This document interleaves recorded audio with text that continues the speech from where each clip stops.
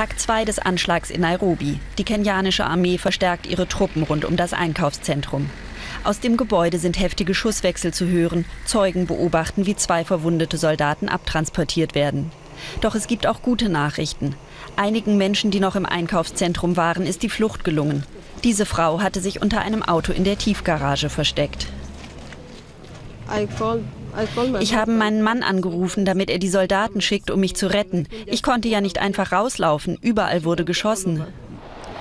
Begonnen hat der Albtraum gestern Mittag. Hunderte Menschen rennen in Panik auf die Straße. Maskierte Männer schießen in dem Gebäude um sich. Kunden und Angestellte werden von den Terroristen offenbar regelrecht hingerichtet. Das Einkaufszentrum ist ein beliebter Treffpunkt für wohlhabende Kenianer und im Land lebende Ausländer. Zu dem Anschlag bekannte sich die islamistische Shebab-Miliz. Man übe Vergeltung für die Beteiligung kenianischer Soldaten am Kampf gegen Islamisten in Somalia.